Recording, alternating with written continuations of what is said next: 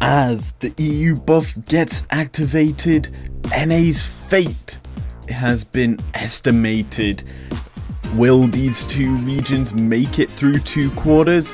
There's only one way to find out as we predict week two of Worlds, ladies and gentlemen. Welcome to this Anarchy analysis. Worlds predictions video for week two of the group stages. And we've got a lot to talk about here as we've got 24 games in total for this week, as well as the results for the first week of groups. But without further ado, let us jump into today's video and get this show on the road. So we get into our world's results and right now, as you can see on screen, our play-ins results was 16 out of 28. I didn't show that in last week's video. As for this week, we got a big score of 17 out of 24 obviously that's only dropping a total of 7 games, which is huge in consideration to the 24 being played. Now, the results that we dropped was LGD losing to Gen G on day 1, as well as TSM losing to Fnatic on the same day, giving us a total of 4 out of 6 on day 1. Day 2, Machi beating Team Liquid we got wrong, and that's the only one on day 2 we got wrong, giving us a total of 5 out of 6. Day 3, it was a 4 out of 6 once again. TL losing to Suning, and also Rogue losing to JD Gaming gave us a nice total there of 4 out of 6. As for the last day, another 4 out of 6 because G2 lost to Team Liquid and we also predicted TSM beating LGD. So, big losses for TSM costing us a couple of points here, but the rest of the results seem fairly standard in terms of who we predicted. Obviously, the upsets did come through, and we got quite a few of them correct. Anyway, let us jump into today's predictions for week two. And it's going to be interesting because we're going to be seeing the same teams on the same day as groups. Each group will be played on a different day. So we kick off the second week of groups with a very big matchup in Group A to get us going. We start with Team Liquid versus G2 Esports. Now, week one, Team Liquid came out on top and beat this G2 roster that was basically undefeated in groups, beating the other two teams in this group. And as a whole, I would say this matchup is going to go to G2 because I feel that G2 are going to bounce back a lot stronger. They're not going to give Broxah the Graves. And Broxah in group stage, whenever he's gotten this Graves, he's popped off on it. And in the series, sorry, the game I would say, he played exceptionally well with this Graves. I also feel that they're not going to give an Orianna over to Jensen, and realistically, G2 could possibly play this game a lot better than how they did, basically, in week 1. Our second matchup of the week is Machi Esports taking on Suning Gaming, and for me, this matchup is gonna go to the LPL representatives. Last time they faced off, Suning won, and it was a pretty big stomp in my opinion. I think the second time these two teams are going to face, Suning are once again going to win. Suning look by far the second or third best team in this group, and Machi being probably the weakest, I would say, out of the four teams here. And as a whole, I feel that Suning should beat this Machi lineup once again. Machi continue to stay out on the Rift for the third game of the week as they now face off against G2. For me, this matchup was actually very close the first time these two teams faced off. Machi actually looked quite good, though G2 smashed them, and for this game I feel G2 will actually complete this dem demolition. I feel that week 2 G2 is going to be very big here. Realistically, I feel that G2 should smash this Machi lineup and win this game. Suning and TL return to the Rift for the next game of the week, and for me, this matchup was actually an interesting one, as I feel this will decide the second place team in Group A. And for me, I feel that the LPL representatives are stronger on paper, but TL, I feel can actually win this game. I feel that Team Liquid are going to beat Suning, even if they did lose to them, and lose to them quite badly, I would admit. I still feel that Team Liquid should be able to win. Yes, they've kind of got a lot of weaknesses. Obviously, the champion pool for certain roles, i.e. top and jungle, have come into question for this lineup, and as a whole, I just feel that Suning might exploit it, but Team Liquid are probably going to come into this game with a lot of fire if they're able to beat G2 earlier in the day. Team Liquid remains on the Rift for their last game of the group stages. They're going to be taking on Machi for probably the third slash second spot.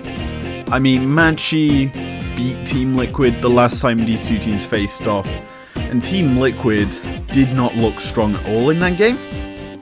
But obviously, as it comes into second week, I would say that Team Liquid, of the two, look the stronger.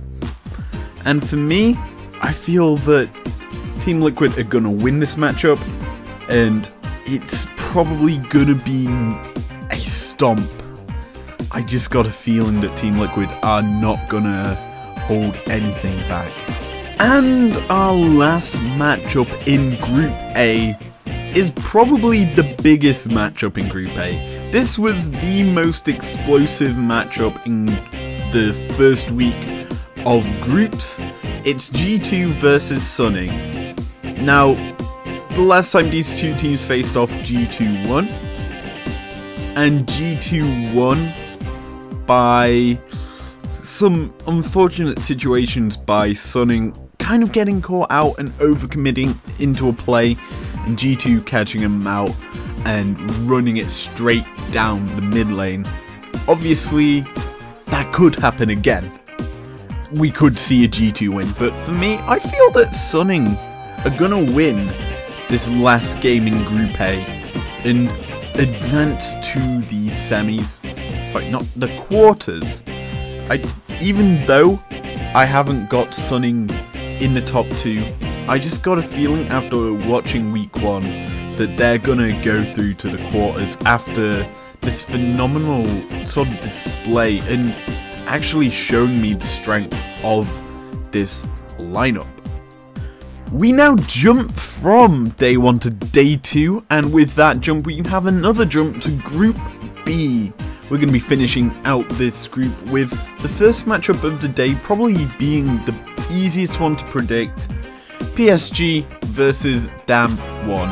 Now after the first week of games, PSG are without a win and for me I feel that they're gonna not pick up a win. The only team in their group that they can realistically get a win against is Rogue, and in their first matchup of Worlds, it was against Rogue, and Rogue just stomped them. And Rogue had probably the biggest stomp against this lineup in this group, because Rogue were unkillable and actually showed the strength of the LEC it Worlds 2020.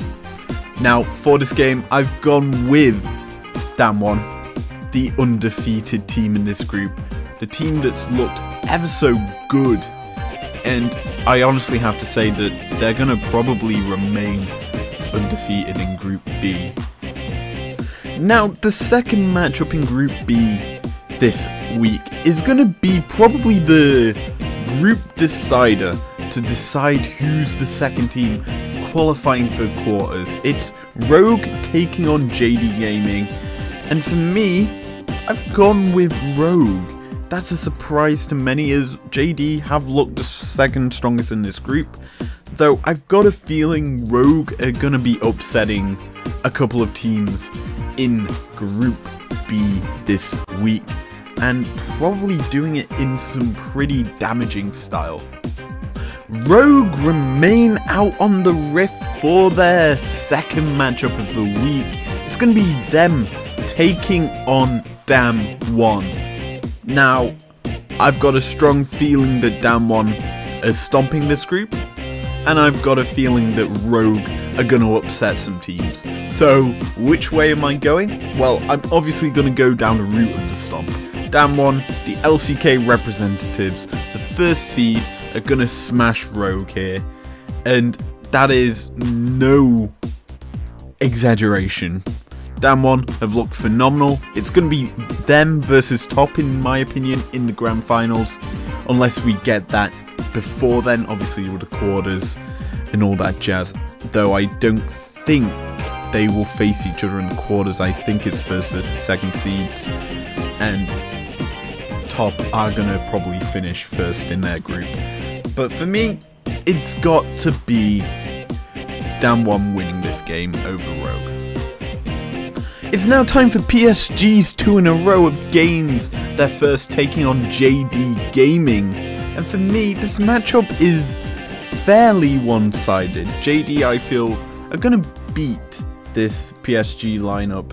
And if you can't tell, I'm not going to give a game to PSG at all in Worlds, which is a shock. I know I've got a lot of feelings for this team. Obviously, they're a phenomenal squad to do what they did to get out of play-ins with three substitutes. So for me to say that they're not going to pick up a game in groups is kind of harsh, but it's reality. They're not as strong as this lineup as what the rest of their group are.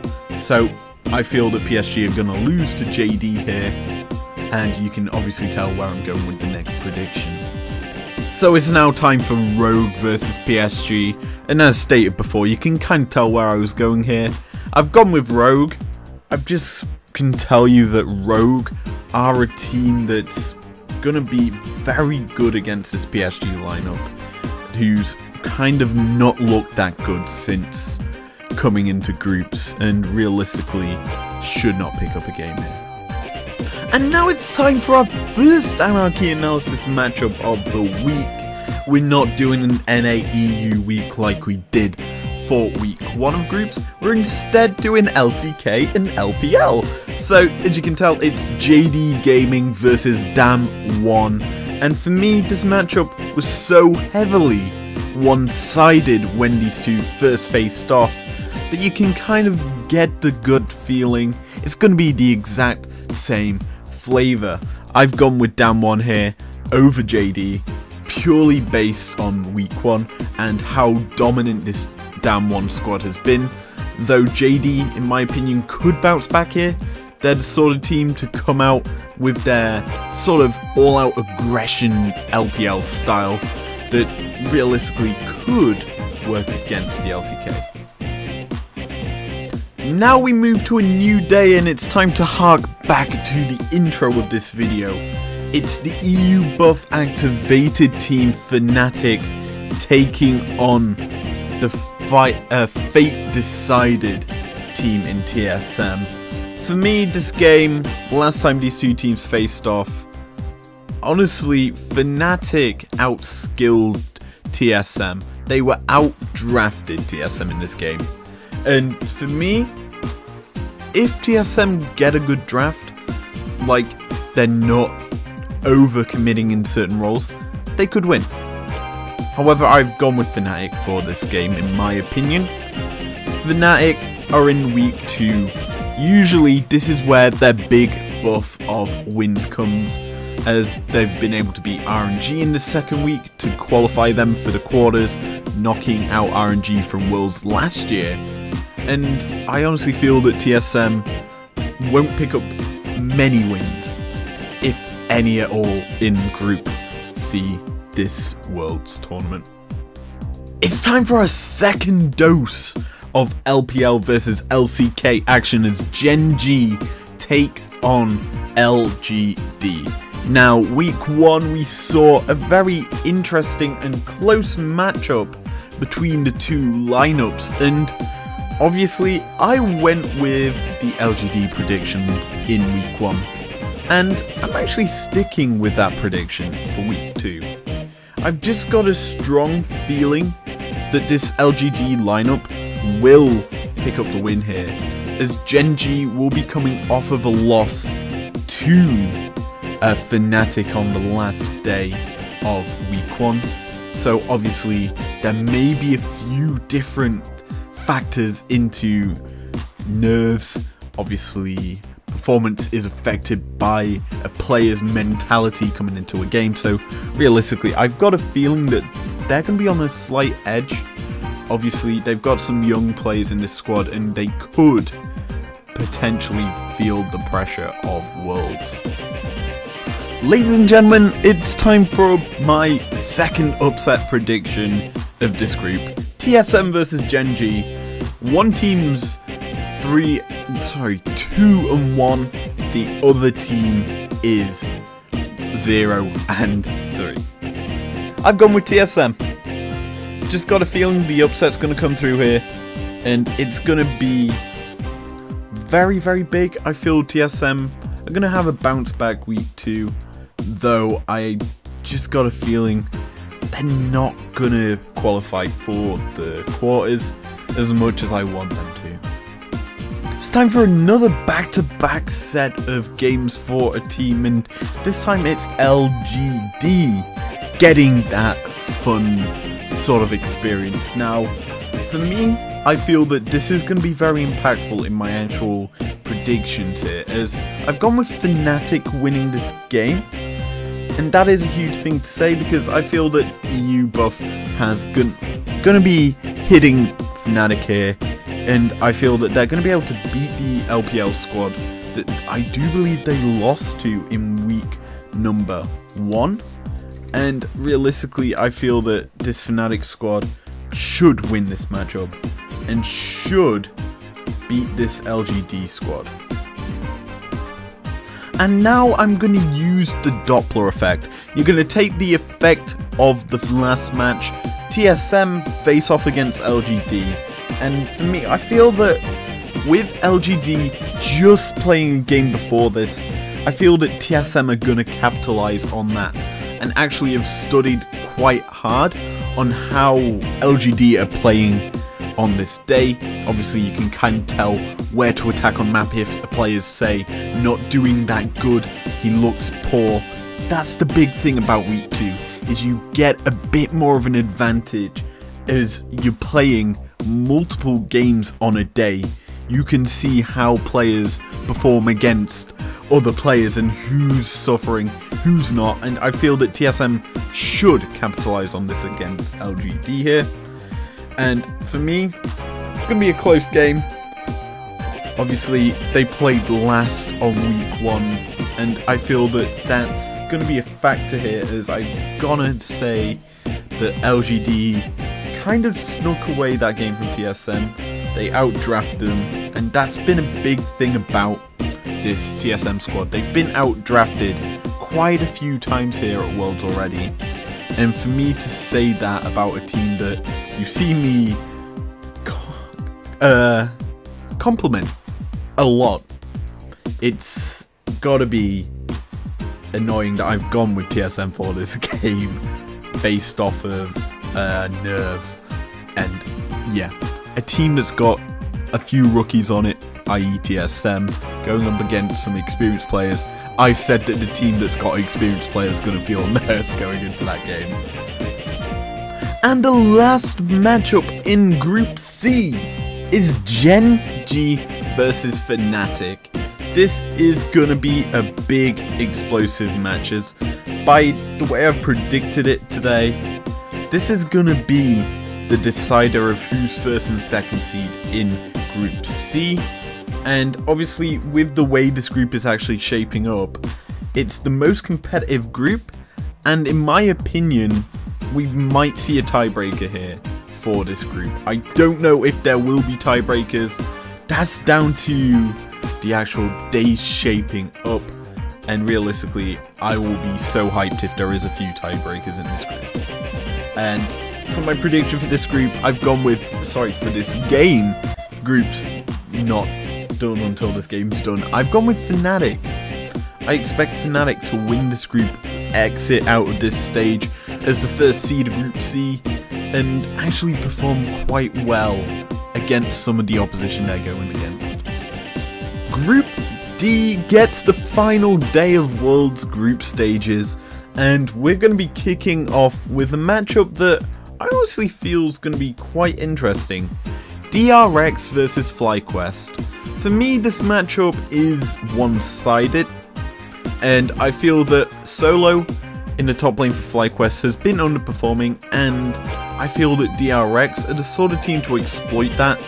And for me, I've gone with DRX winning this game over FlyQuest. And fear not, I haven't predicted FlyQuest losing all the games this weekend. I've predicted this loss. Whether or not they win the other two games, it's down to you watching the rest of this video to find out. Up next is a matchup that was a possible contender for one of the Anarchy Analysis matchups of the week.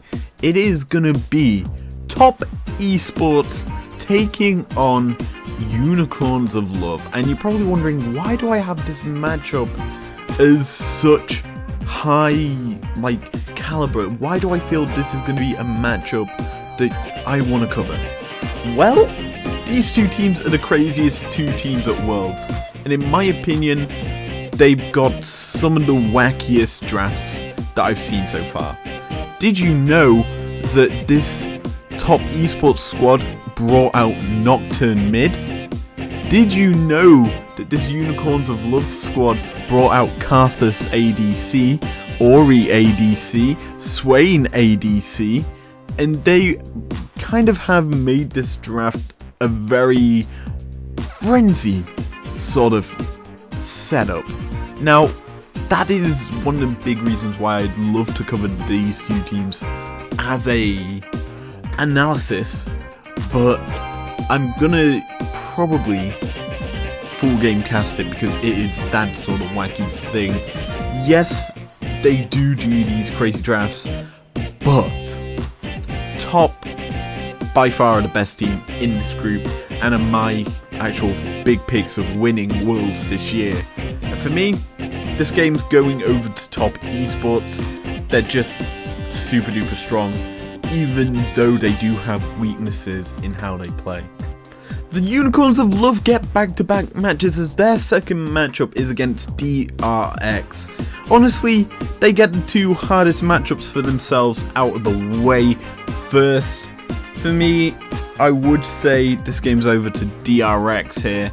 They're just the sort of squad to just out macro the unicorns here and show them who's boss. And realistically, you can kind of tell where this group's going by how it's shaped up after week one. There's two favourites in this group, and realistically, the other two teams are just there. And that is kind of annoying if you're an NA fan and a whatever region, the something states region for unicorns.